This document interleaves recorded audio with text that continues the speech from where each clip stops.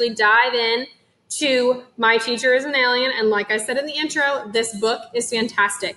So I just want to go over some of your learning targets for the week and kind of walk you through the activities so you can go ahead and get started. So let's go. During your first activities, you will be working on the standard trying to read and comprehend complex literary text independently and proficiently. So, what the heck does that even mean?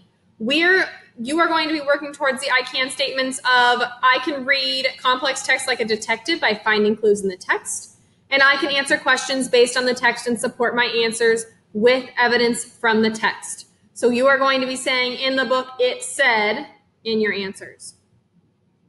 On day two, we will be continuing to work on standard um, reading 10. We are going to be reading complex text like a detective while researching the authors of the books in our classroom and using what you learned to understand the books they wrote. So we will be learning more about the author, author Bruce Coville and really determining why do we like books that we like? Why do we like series?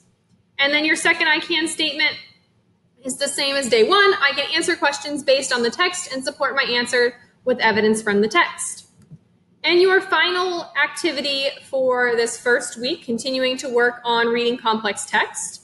On Friday, we are going to be working on the learning target.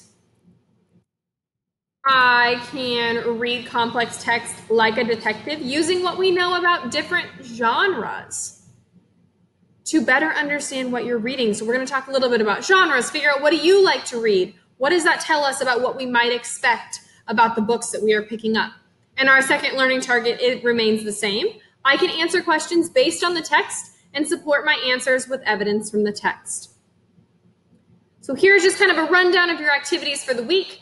On the first day, you'll be introducing yourself, doing a prediction of the cover, listening to chapters one and two, and responding via Flipgrid Remember, if you need any help on Flipgrid, there is the Genius Bar tab in our Google Classroom and it will help walk you through that. If not, reach out to me. That's what I'm here for.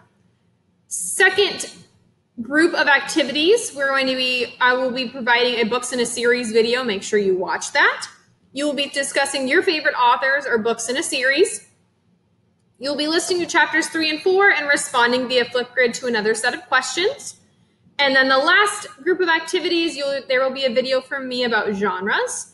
You will be talking about your favorite genres. You will listen to chapter five, and there will be a Google form with some questions about chapter five. So it will be an exciting week. I really think you're going to enjoy the start of My Teacher is an Alien, and I look forward to hearing all about it. Have fun, guys.